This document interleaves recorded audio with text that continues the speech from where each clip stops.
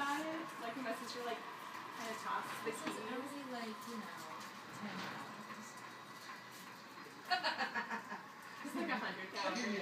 No, it's not. It is not. That's no, three musketeers.